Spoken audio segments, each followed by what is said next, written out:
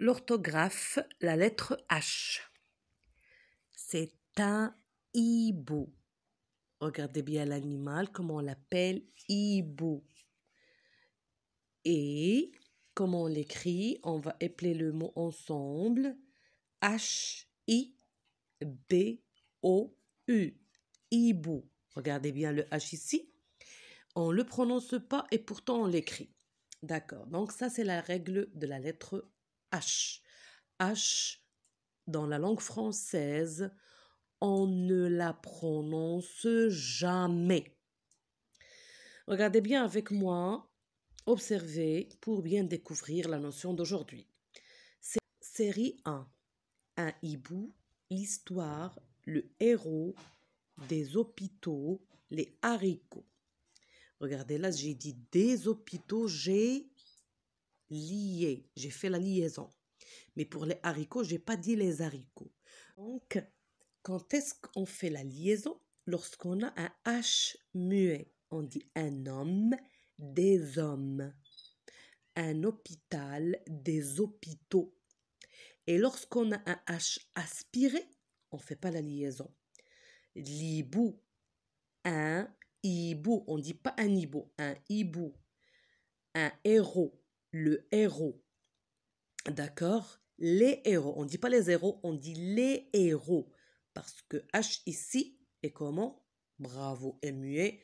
Donc, on fait la liaison lorsqu'on a le H muet. Et lorsqu'il est aspiré, on n'accorde pas. Le H dans le mot héros, c'est un H. C'est un H. Oui, très bien. Aspiré. Voilà.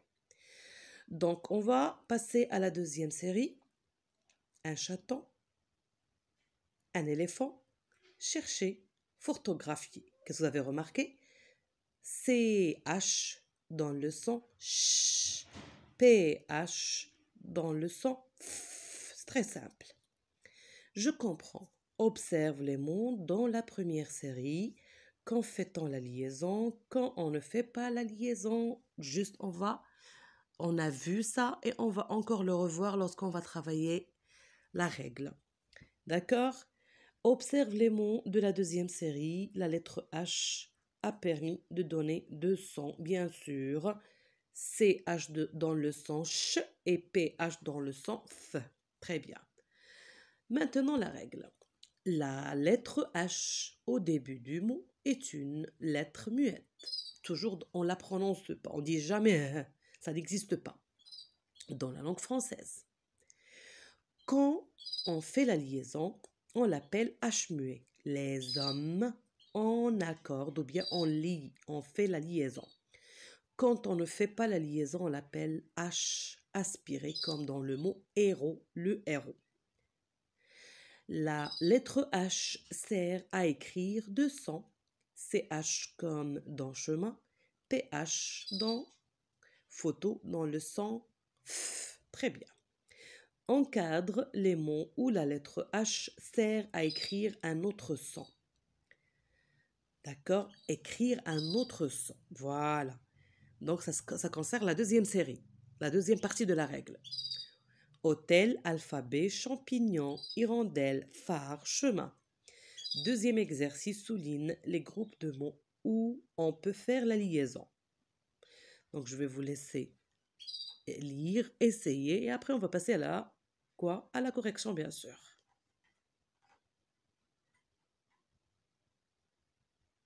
Est-ce qu'on dit les héros ou bien les zéros Très bien, parce que je viens de le dire.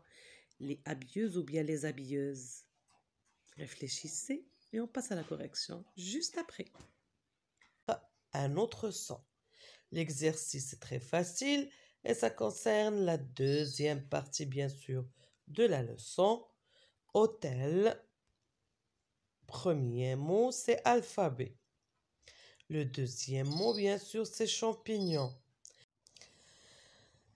Après hirondelle, on a le mot phare.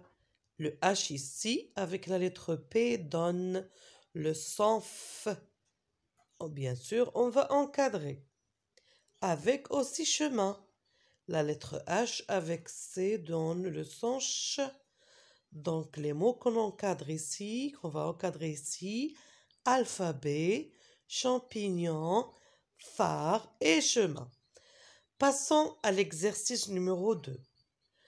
Comment on va l'effectuer? Je vais vous donner l'astuce et le secret magique. Soulignez les groupes de mots où on peut où on peut faire la liaison. Les héros. Est-ce qu'on dit les héros ou les héros? Donc, donc là, il y a une difficulté. Mais comment on va la réussir? On va chercher le singulier. C'est le singulier qui va nous aider. Est-ce qu'on dit le héros ou bien l'héros? Rappelez-vous, vous avez déjà vu ce mot. Le héros ou bien l'héros? Si l'origine c'est l'héros, bien sûr, il on doit On doit faire marquer la liaison en attachant les avec H, les zéros. Mais non, l'origine du mot c'est l'héros. Donc là, il n'y aura pas de liaison, on va lire les héros. La liaison concerne surtout la lecture. Les habilleuses. L'habilleuse ou bien les, les habilleuses ou bien les habilleuses. On va revenir encore, on va chercher le singulier.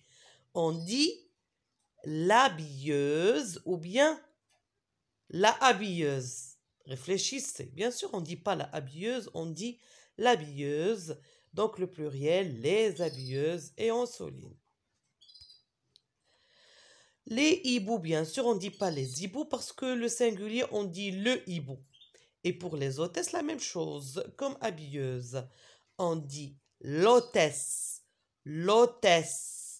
Une hôtesse, l'hôtesse. On ne dit pas la hôtesse. Est-ce que c'est clair? Là, on doit marquer la liaison. Et toujours, j'insiste que la liaison se marque surtout au euh, pardon, à l'oral et non pas à l'écrit. Les huissiers, est-ce qu'on dit le huissier ou bien l'huissier? Bien sûr, on dit l'huissier et la liaison est obligatoire ici.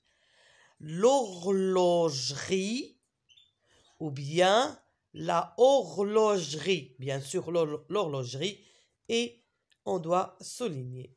D'accord?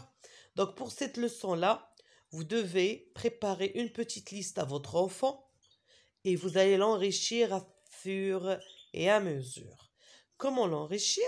Les mots qu'il a déjà rencontrés normalement, il doit savoir est-ce qu'ils contiennent un H muet ou bien un H aspiré, surtout pour le pluriel, à la lecture. Lorsqu'il va lire, il doit bien savoir où est-ce qu'il va marquer bien la liaison. Est-ce que c'est clair? Pour la deuxième partie concernant la composition de deux sons, c'est facile. CH et PH, F. C'est clair? Merci et à la prochaine. Il vous reste la dernière partie, euh, troisième exercice concernant la dictée. Ce sont des mots à apprendre par cœur. Allez, je vous dis au revoir. Merci.